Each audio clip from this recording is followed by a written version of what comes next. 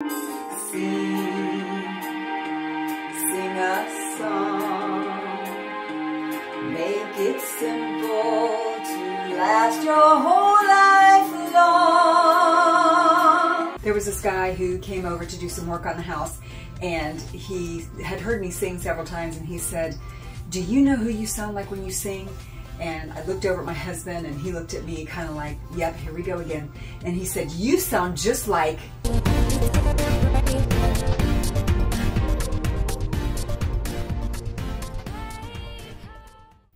Hi, welcome back to my channel. Today I want to take you on a journey from my roots as a singer to a makeup artist and now into a full-fledged YouTuber. So let's dive in. Welcome to Simply Sophisticated Over 50. My name is Mimi. Throughout my life, I've had several different careers, but the ones that have made the most impact in my life and have brought me where I am today started with me being a singer. I've been singing for most of my life. It's something that I love. Music was a big part of my life and my home growing up. After college, I started singing in local bands, rock bands, top 40 bands, cover bands, and I absolutely loved it. But you're not really here. It's just the radio.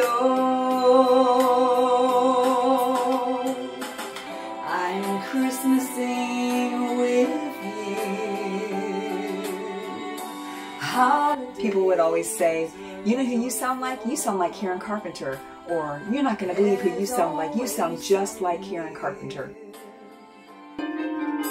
Sing, sing a song. Make it simple to last your whole life approached by a lot of people asking me to help them sing, asking me to teach them. So I started teaching voice lessons and performance coaching. I still sing every now and again because singing and music is a huge part of my life. There was this guy who came over to do some work on the house and he had heard me sing several times and he said, do you know who you sound like when you sing? And I looked over at my husband and he looked at me kind of like, yep, here we go again. And he said, you sound just like Anne Murray. I said, what? I was not ready for that. I hadn't heard that one. I've always loved makeup.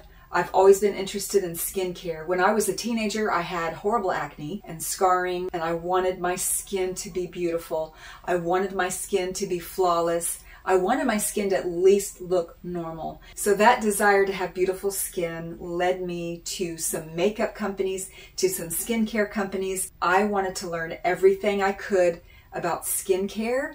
I worked for a major brand in the beauty industry and I loved that as well. There was then a shift in the industry. People started buying things online instead of coming into different counters in different stores. So that led to another career shift. During the time of the lockdowns, Everybody was at home, you had nothing to do but watch YouTube. I fell in love with YouTube and I loved everything it had to offer. The reason I started my channel was because I had some requests from family members and friends that don't live near me.